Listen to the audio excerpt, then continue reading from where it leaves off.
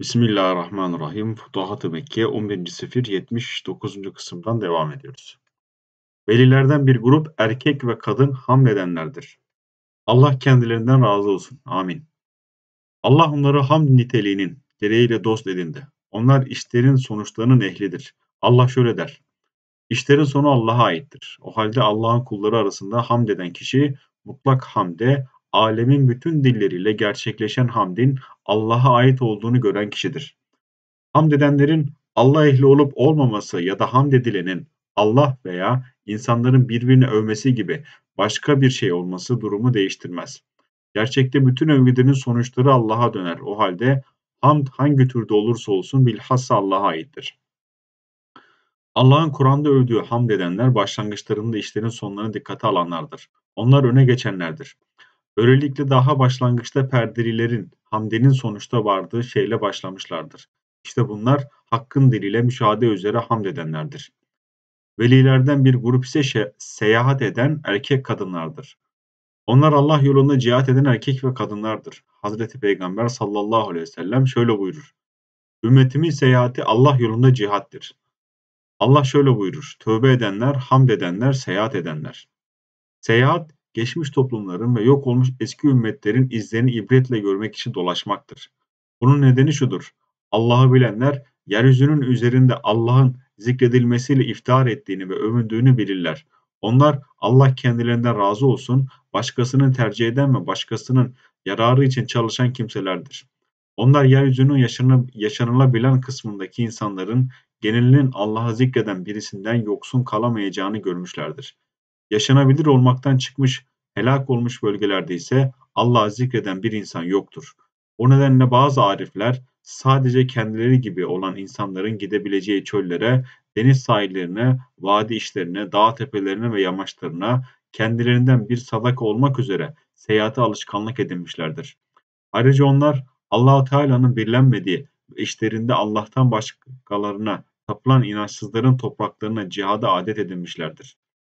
Bu nedenle Hazreti Peygamber sallallahu aleyhi ve sellem bu ümmetin seyahatini cihat yaptı.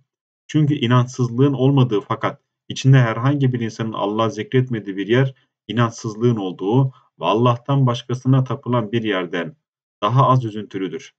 İkinci yer kafir ve müşriklerin yeridir. Böylece cihat için seyahat etmek başka bir gayeyle seyahatten üstündür. Bunun şartı Allah'ın seyahat esnasında zikredilmesidir. Çünkü Allah'ın cihatta zikredilmesi düşmanla karşılaşıp müminlerin onların onların ise müminlerin boyunlarını vurmasından daha üstündür. Cihattaki amaç ise kendilerine tapılan Allah'tan başkalarının zikrinin yüceltildiği yerlerde Allah'ın kelimesini yüceltmektir. Bunlar seyahat edenlerdir. Onların büyüklerinden Yusuf el-Mugavir el-Cella ile karşılaştım. 20 yıl düşman toprağına mücahit olarak seyahat etmişti.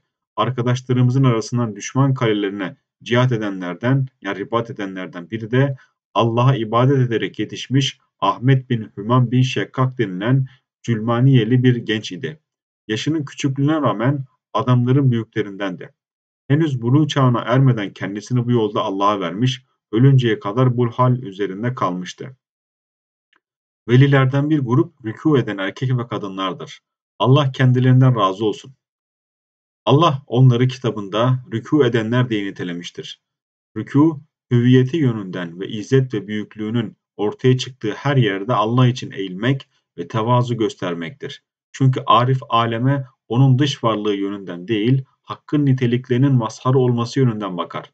allah Teala şöyle buyurur. Allah her kibirli ve zorbanın kalbini mühürler. Başka bir ayette ise tat bakalım hani sen aziz ve kerimdin der. Kutsi bir hadiste şöyle denilir. Büyüklük örtüm, azamet gömleğimdir. Kim bu ikisinde benimle didişirse onu yok ederim. Dış varlık yok olucudur. Nitelik ise kalıcıdır. Rükû edenler dış varlığa değil niteliğe rükû eder. Onlar büyüklüğün kendi nitelikleri değil hakkın niteliği olduğunu öğrenmiştir. Bu nedenle de o ikisi hakkında didişme ortaya çıkmıştır. Onlar alemden, alemin kendisinden bilmediğini bilirler. Büyüklük, ceberut, azamet ve izzet ki bunları El-Aziz, El-Cebbar, El-Azim kullara karşı El-Mütekebbir gibi isimler iddia eder.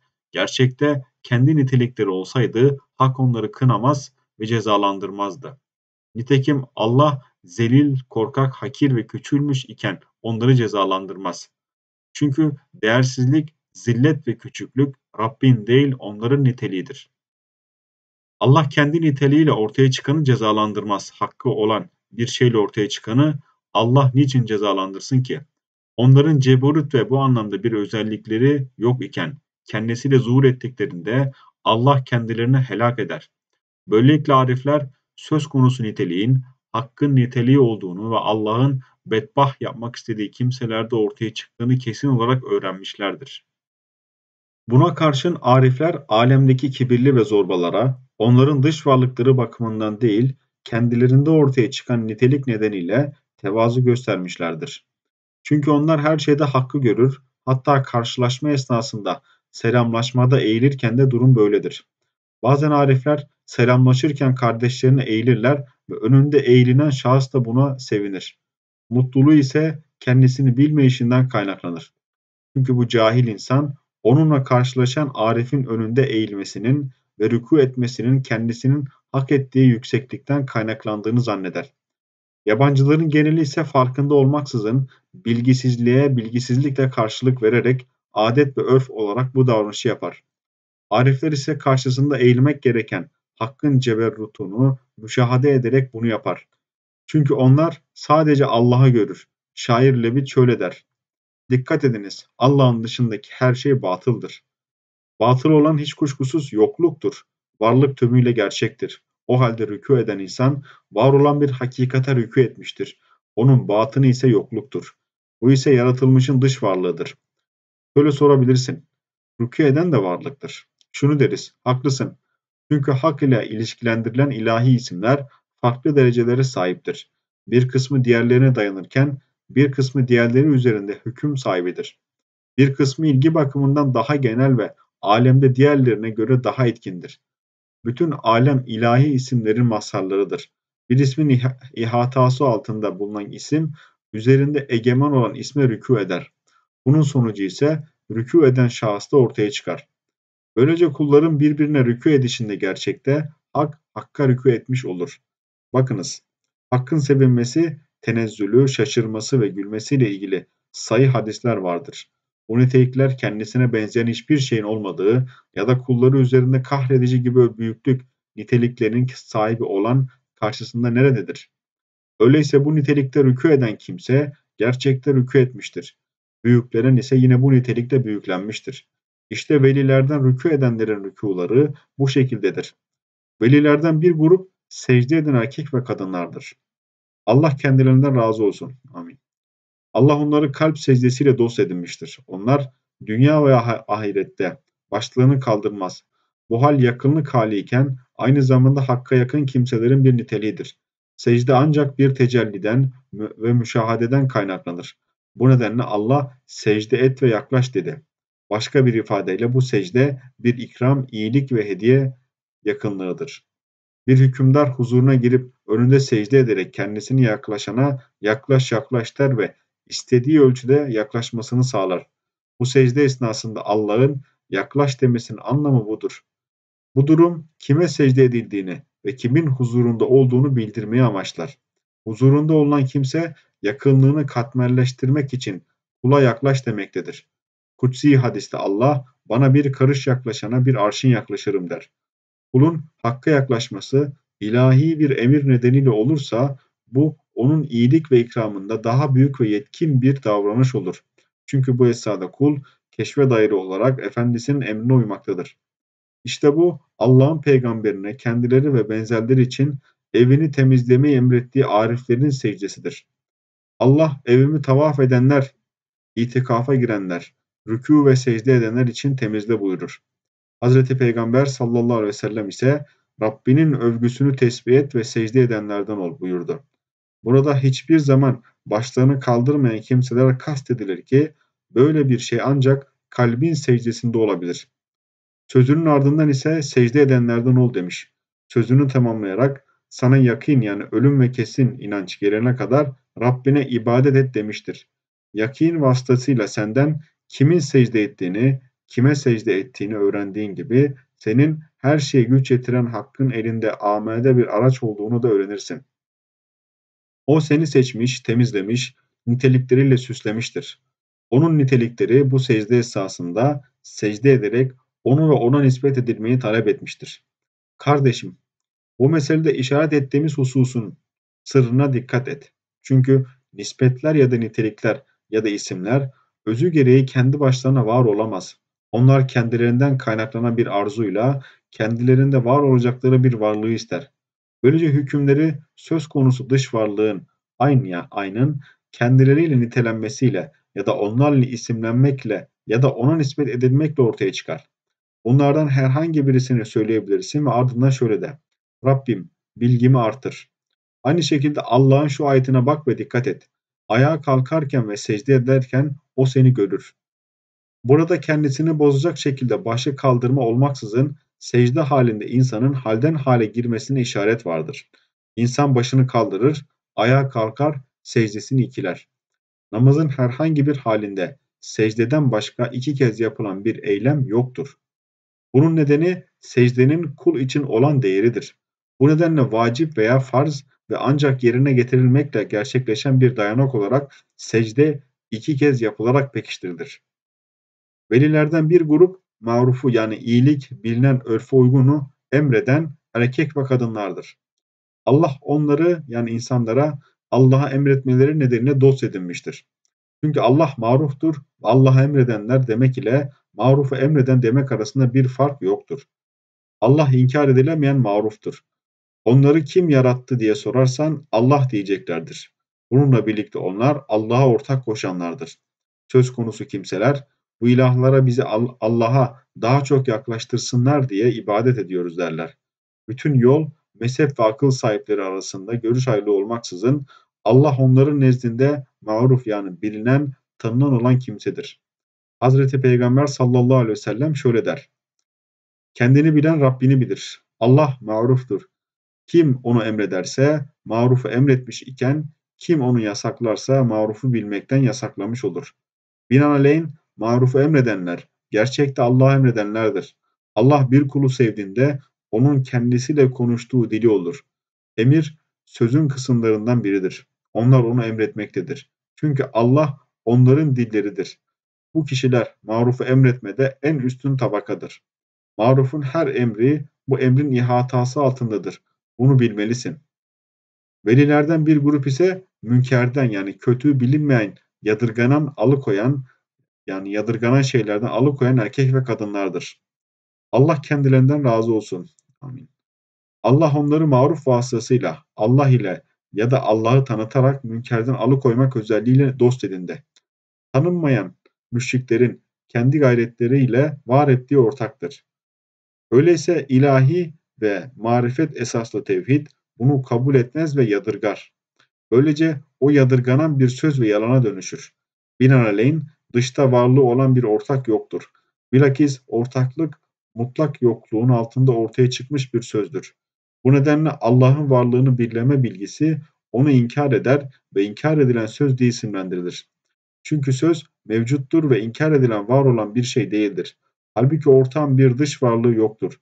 Çünkü alemde gerçekte ortak yoktur. Söz olarak ya da söylem olarak bulunursa onlar münkerden alıkoyar. Bu özel olarak sözün ta kendisidir. O halde herhangi bir münkerin dış varlığı yoktur. Bu nedenle Allah onları münkerden alıkoyanlar diye nitelemiştir. Fakat söz konusu olan onların bu konuda maruf vasıtasıyla alıkoymalarıdır. Velilerden bir grup ise erkek ve kadın hilim sahipleridir. Allah kendilerinden razı olsun. Erkeklere ait her nitelikte kadınların bir meşrebi vardır. Allah onları hilim özelliğiyle dost edindi. Bu güç var iken o esada cezalandırmayı bırakmak ve acele etmemek demektir. Suçun ardından cezalandırmada acele öfkeye delildir. Hükmü ise iradeye başlayandadır. Hilim sahibi gücü olduğu ve engel ortadan kalkmış iken cezalandırmada acele etmeyendir. Ezeli bilgi bir engeldir ve hilim niteliğiyle nitelenmezden önce kuldan perdelenmiştir.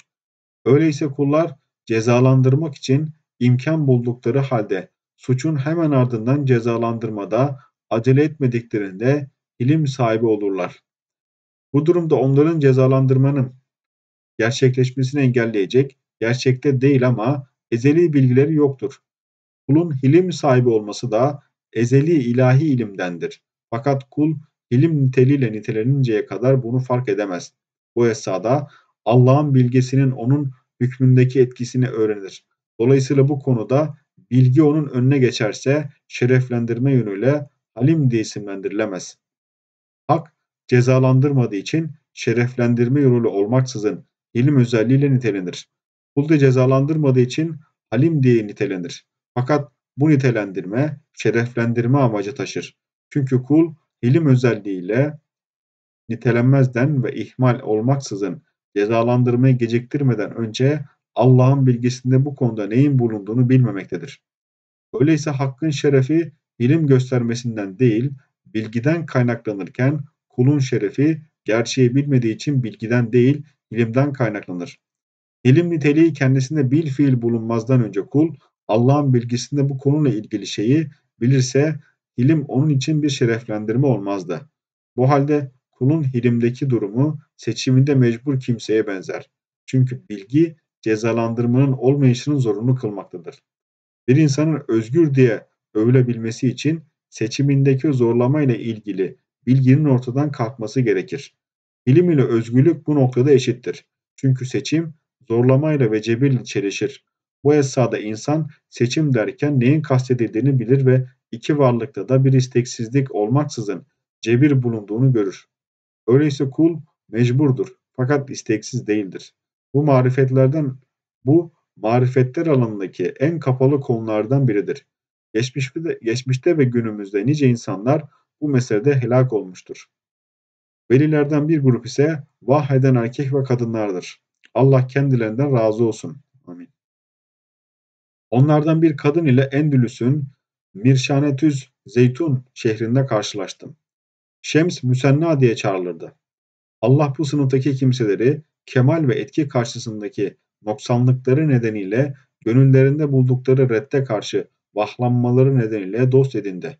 Vahlanma ise bir bilinçten ya da kaybolan hakkındaki bir bilincin varlığından kaynaklanır.